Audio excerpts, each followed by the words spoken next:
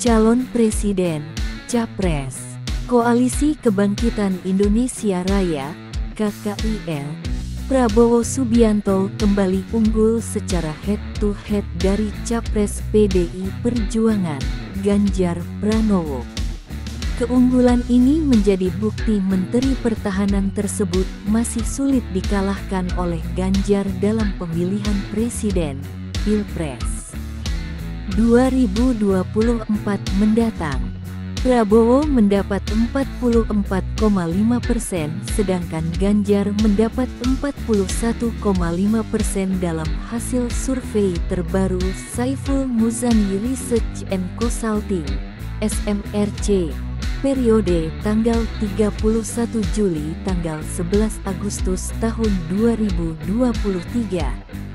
Dengan hasil tersebut menegaskan posisi Prabowo yang unggul ketika menghadapi Gubernur Jawa Tengah, Jateng, tersebut.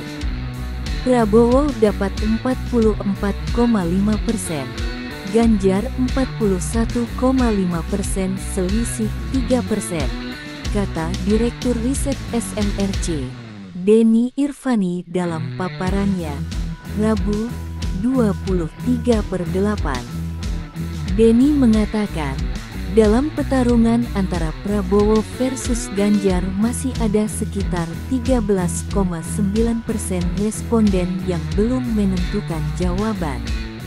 Jumlah tersebut dapat menentukan kemenangan antara Prabowo dan Ganjar. Kemudian masih ada 13,9 persen yang masih bisa mengubah perolehan dua nama tersebut jika bisa meraih dukungan secara efektif, ujar Denny. Diketahui, SMRC baru saja merilis hasil survei baru periode tanggal 31 Juli hingga tanggal 11 Agustus tahun 2023.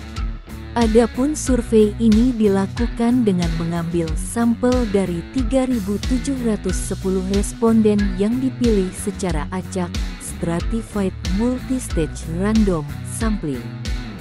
Kemudian oversample dilakukan di provinsi-provinsi kecil dengan minimal responden tiap provinsi 100. Dari sisi margin of error, dengan jumlah tersebut diperkirakan 1,65 persen dari tingkat kepercayaan 95 persen. Terima kasih telah menonton. Jangan lupa like, share, subscribe, dan klik lonceng ya.